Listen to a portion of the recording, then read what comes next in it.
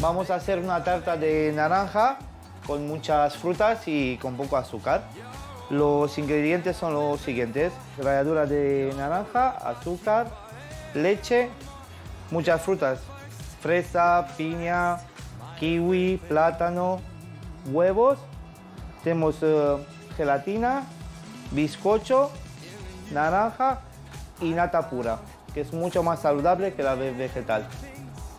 Vamos a empezar a poner a, hervir todos los ingredientes. Empezamos con la leche, luego seguimos con los huevos, la ralladura de naranja y el azúcar. Lo vamos poniendo a cocer y vamos mezclando poco a poco para que no se nos pegue. Una vez que está empezando a hervir, lo estamos echando la gelatina. Una vez que está fría ya la crema, lo vamos echando en la batidora y lo vamos añadiendo a la nata. Teniendo la crema vamos a montar la, tarta. Lo primero que vamos a hacer, vamos a poner la- las rodajas de naranja en el fondo del molde.